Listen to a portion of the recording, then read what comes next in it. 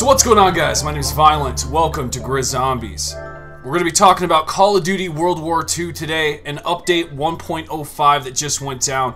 What exactly happened? What are the patch notes? And were there zombie changes? This is all going to be answered here in this video today. Be sure to drop a like on this video if you do learn something and subscribe. Let me know in the comments section if you're new. And if anything here sparks an idea, be sure to hit me up over on Twitter at GrizzViollent. It's the best place to keep talking zombies. So a lot of things have happened. We're about a week out now from the launch of Call of Duty World War II, and Zombies has been an awesome time.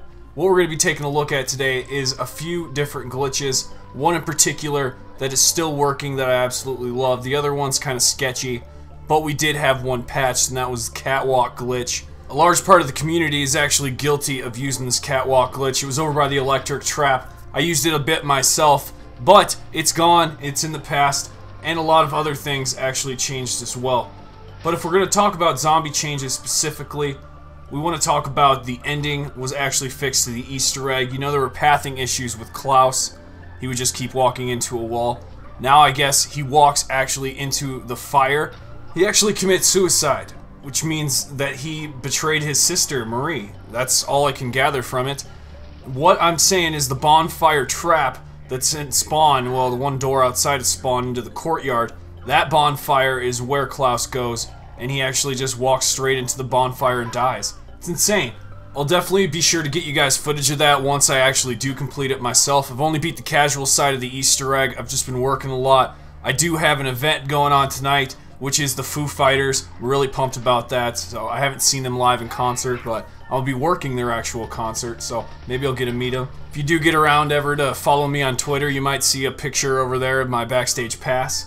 But what we're seeing right now is some changes, both in multiplayer and zombies. The zombies ones, not nearly as much as multiplayer. Not a lot was addressed in update 1.05. At about 12.30 a.m. Friday morning, double XP hit out of nowhere and the entire community was shocked. Sledgehammer goes on to say, please enjoy your first Call of Duty World War II Double XP weekend on PS4 and Xbox One, which is live now through Monday at 10 a.m. Pacific time. Which is great to hear, but if you're a Zombies player and you've lived through past experiences, you were wondering, hey, is it Double XP for Zombies too? Is there a difference? Because it seems that sometimes multiplayer will get double XP and zombies won't. What turned out happening was that multiplayer actually only got the double XP. It was only when enough of us complained to the developers over on Twitter that we wanted double XP and zombies is too. It's not fair. And we actually got it about two and a half hours later. I'm grateful, Sledgehammer. We just had to come in strong. Looking at the weapon tuning updates, it seemed that the weather toggle action shotgun was affected. These are buffs the Bren was buffed, and so is the MLG bipod. Now, nerfs, the Bar rifle, which is a very depressing one, got decreased fire rate and widened hip fire spread. So if you do play multiplayer with the Bar, one of the most powerful weapons, it now did receive a very powerful nerf, which is upsetting. The STG, the FG42, which are zombie weapons as well, all got nerfs along with the machine pistol, unfortunately. That is one of these starting weapons, you can actually unlock it to become a starting weapon and buy it on the wall and spawn. Received a heavy nerf, just so you guys know. However, the most important notes we want to hear about are the Nazi zombie updates, the zombie map exploit fix where clipping into a zombie spawn closet using revive mechanic and laboratory. That would spawn you up into the upper building. That was above where you could get double tap increased weapon damage. You can no longer do that glitch okay? We fixed Klaus's pathing and so no longer will the ending of the main Easter egg, the hardcore Easter egg, be flawed. Fixed out of world exploit in the final Reich, not sure what that exactly means. But coming from the Tesla room to where you speed reload, you get that perk. I think people were glitching into that wall, and that might be the out of world glitch that they're talking about. I used to never be a fan of glitches, but ever since I started diving into the meta, this is something I absolutely wanted to document throughout the entirety of the season pass. First it started with the catwalk glitch. This is what it looked like. And now we have another glitch that I'm about to show you here today that is extremely awesome. The one we're going to take a look at first is the one I told you before that was really sketchy. And that is around the corner here of the increased damage perk. You can get damaged by the boss zombies, so I just swear that this whole area is just cursed. Even when you went onto the staircase, went into quick revive, revived yourself up into the next floor, still, you could get downed by the boss zombies easily. So at least at this point, the double damage perked area, that's cursed, in my opinion. But the Mac Daddy of all God mode glitches is going to take place on that ledge up there. We're going to hit the bonfire trap, explode our way up to the top, and yes, it doesn't kill you, it barely does any damage to you, but that's the wall we're going to be aiming for when we drop down, alright? There's wooden walls, and it's the second one from the right. Okay, that's the planks you're going to be looking at as you're moving forward. That will traject you forward straight up onto this ledge. And the best advice anybody can give you with your trial and error is practice makes perfect. That's exactly how I learned to get up here, and that's exactly how you'll learn in game is by trial and error, okay? Practice hitting that second wall on the right. Now it is double XP weekend, so this is the best time to grind as many ranks as you can get while you're going to the high waves. Now the high waves I would go for and aim for before you actually end the game is around 40. I didn't quite get to 40 on this game, I got to about 38. So where my stance on being against glitches used to be against it, now I believe it can be quite useful as they are limited time and so is double XP.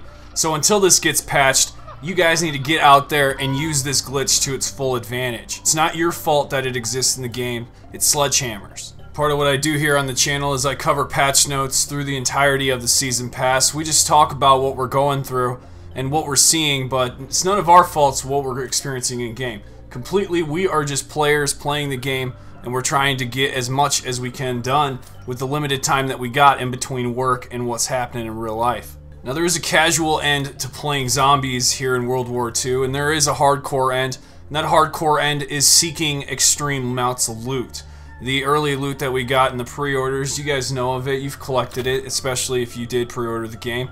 Maybe you didn't and you just picked up the game. What you're seeing now is a lack of weekly bounties. It's definitely something I want to see come to this. Of course, we can't ignore the fact that zombie supply drops, earning that by rank by rank, is very limited and low. You are not guaranteed it as you rank up. And that is something that I feel needs to be worked on a bit. When we beat the campaign, we absolutely got a campaign helmet but it didn't come at the cost of difficulty. I beat it on veteran and everybody just gets a basic campaign helmet. That's where we're at. But perhaps the most unique thing I've seen yet is the zombies helmet that you can collect in multiplayer. This is for beating the Panzermörder and it is a zombie helmet we apply to our multiplayer character. Fortunately, you can't wear this in actual zombies. This is a multiplayer exclusive but it is exclusive to zombies players only, so I really appreciate that that has been thought of in this game. But this game that we're seeing recorded here is actually taking place during the double XP weekend, so we will get to see that little feature here at the end during the after action report. But I'm telling you, get into the late 30s or early 30s even, and you're going to see some massive XP start ranking up. And we all know that we're on the grind to Prestige 1. 100%. Let me know how far you guys are right now. I'm currently at rank 32, just killing it, loving the vibes. It feels good up here. Which will lead us to the end of update 1.05. However, there will be game updates pushed out until we get an update 1.06. But until that time, Sledgehammer is working really hard to keep this game stable.